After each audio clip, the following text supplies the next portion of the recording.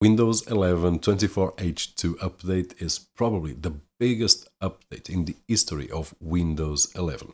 I've got it right over here on my desktop, Windows 11 Pro 24H2. I'm going to share with you how you can get it as well if you want it today, really easy. But I will share with you some of the new features that we will find on 24H2, but those to me feel insignificant when we think of the core change, which is the ability to have just next month the implementation on the new laptops that will come out with the new CPU Snapdragon X Elite, which is a awesome CPU and it's meant to target and fight with the M chip family from Apple M1, M2, M3, M4, and the variants. So I'm really hopeful that we will have through this path a nice fight with these two major operating systems and for that on the ARM technology. Now, I do imagine that this is not an easy task to accomplish compared to what I'm about to share with you, which is mostly cosmetic, but at the end of the day, it's great to see implemented on Windows and I want to share with you. And if you are watching this video on Windows 10 or 11 computer and you still haven't activated and can't even edit your desktop icons.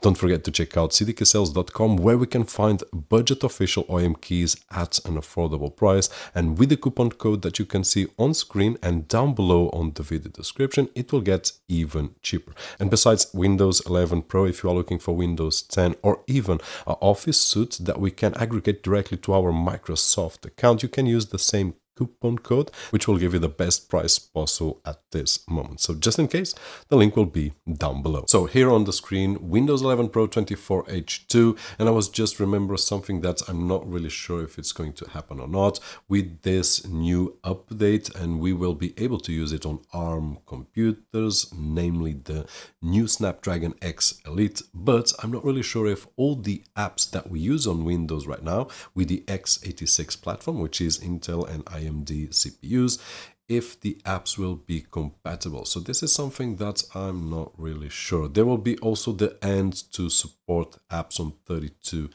bit, at least on the ARM side of things. not really sure on the x86 as well.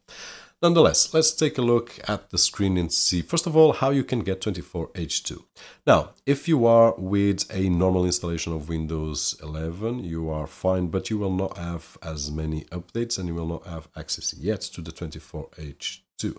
So one of the things that we have in Con is this. I will have a lot of updates, but if you want, you can just go to the Windows Insider program and press it right over here. And in my case, I've got the uh, uh, turn on optional diagnostic off because I'm already inside the preview and probably I did change. But if you turn it on, you will have the option to getting the Windows Insider program and you will have all the updates at any time, which is awesome. So you will have everything, but at the same time, you will have so many updates that sometimes we lose track of the new features. That being said, and talking about features, let's take a look at the Explorer. Now, this is really a cool one. If I press the right button, I now have the legend right over here, the subtitles, cut, copy, rename, share. And this is one of the things that I'm using Windows 11 since it was released, but I'm still not used to the icons and they are not difficult. I have that in mind. They are well thought, well designed, but they are not difficult. Especially here, I, I always confuse the copy and paste. And it's clear that this one is the paste but i don't know. And, and with this this really helps a lot. I do believe that this should have been implemented since the beginning but it's better now than never. So thank you. And this is it. It's a cosmetic change. So when i said before this will look or feel insignificant compared with the major changes that the operating system is having but they are very welcome. Also if i want to zip this document or this file i just right click compress to and right now, look at the options that we have. Zip file, 7-zip, tar file. So if I want the 7-zip, I just press it. No worries whatsoever. Here it is. Just need to name this. Channel okay i need to have my keyboard connected to the computer first. Name this Chana, there we go. Just created in an easy way a 7-zip file. So if I go here, we also have additional options. And right now I can select the uh, archive format. So right over here, and then I can select the compression method and I can select if I want it faster, smaller, and so on and so forth. And press create Basically, this is it so easy. This is really, really great. Although it looks insignificant, it's great.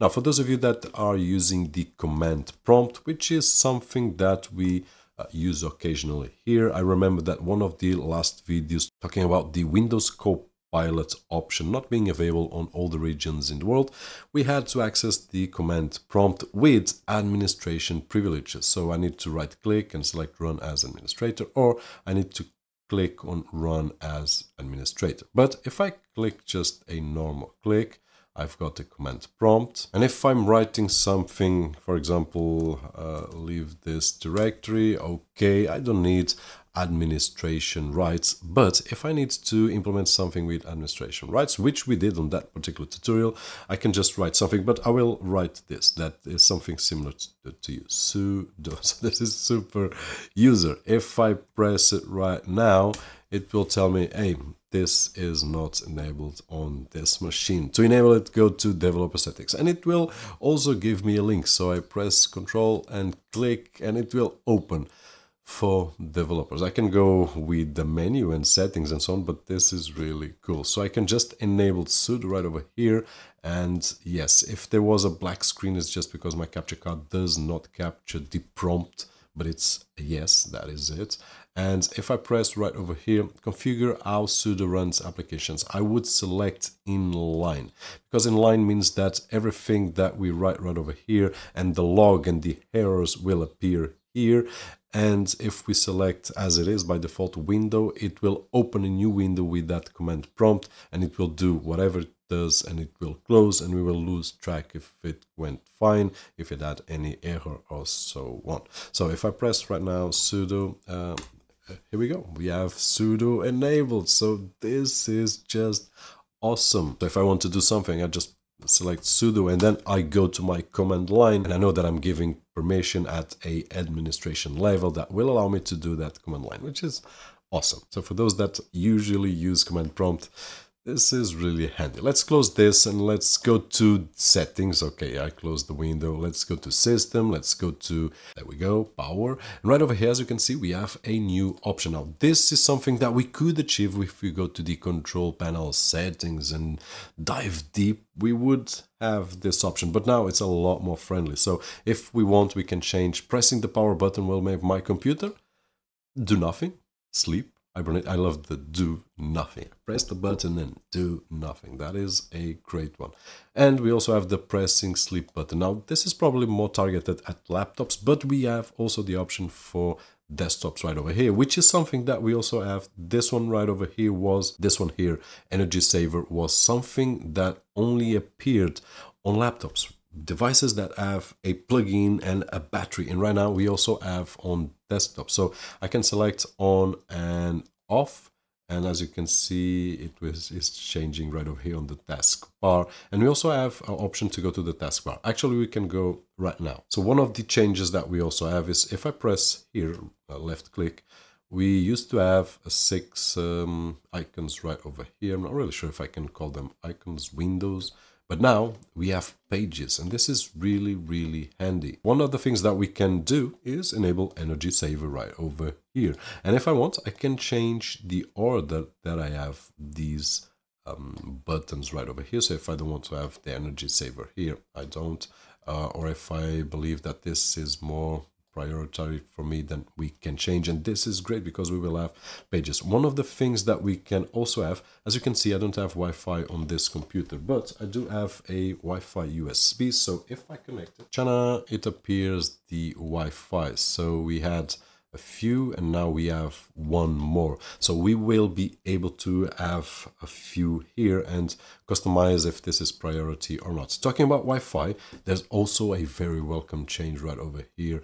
Um, as you can see we have the refresh button. This was non-existent. If you are using a previous than 24H2, try it out. You will not have this button. Uh, so we had to close this up and then go here and select Wi-Fi and refresh. For someone that is troubleshooting something on the Wi-Fi, this is great. I don't need to no longer go here and here and Wi-Fi and then duh. no, I can just press the refresh as easy as this. This is really awesome. And one more uh, related to network as well. If I right click right over here, I will have a diagnose network problem tool, which looks different. Now, to be honest, I still haven't tried, so I'm not really sure if it's going to work better, worse, or the same as the diagnose tool works right now. But for what I've seen, it seems that it's going on the right way, probably with a bit of help on AI side, but hopefully will help us to diagnose and solve issues, which in the past it didn't. It was just something that was there for those that are desperate to hang on to something that will not save, will not solve the issue. And right here, my hope is, okay, this is the way to go. I'm not sure if it is, but it looks like it be. And if this works well in this area, hopefully it will work well on other areas of the operating system. And hopefully it will help us to solve issues with a few clicks of a button without having to dig anywhere and without having to come to YouTube to find all the solutions. Of course, some of us will lose the jobs, but that's the way life goes. That being said, hope that the video was helpful in some way. Hope that you are as excited as I am, not only with this great update 24H2, but also, and probably mainly, to know the new laptop generation with the new CPU generation Snapdragon X Elite and what will come after that that will give us great computers with a great operating system that we already have and that we have seen that it's coming by major changes to be at its best.